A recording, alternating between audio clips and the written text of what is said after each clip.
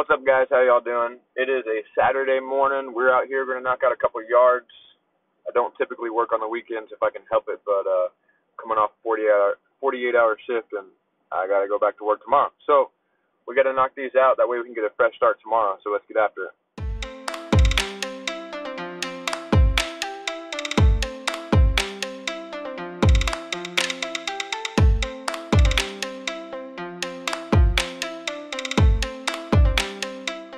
I thought I'd kind of talk to you guys a little bit about what I do on a daily basis as far as lawn care, I guess. Um, so lawn care and the lawn business that I run, which is just me. I don't have any employees. I don't do anything crazy, nothing big really. Um, it's kind of a side gig for me. I actually work full time for the fire department locally so that takes up most of my time, and you know that's my primary source of income.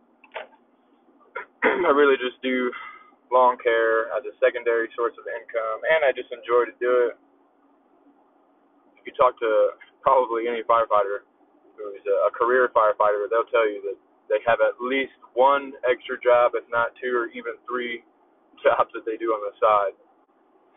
So I just do this on my days off, and not every day off.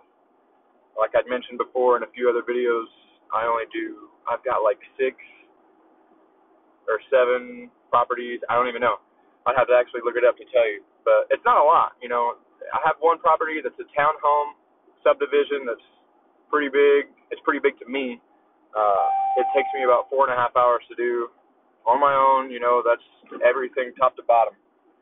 Uh, so I do that one once every 10 days, like in the summertime or when the growth is heavy, and then once every two weeks otherwise. And then I got a few residentials that y'all have seen already.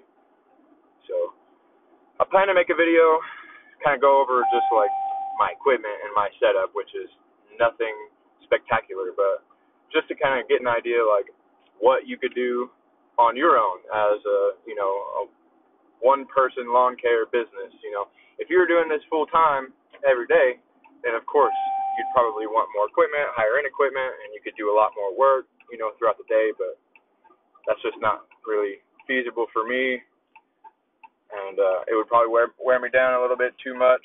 And my wife probably wouldn't be too happy if I was gone even more than I already am.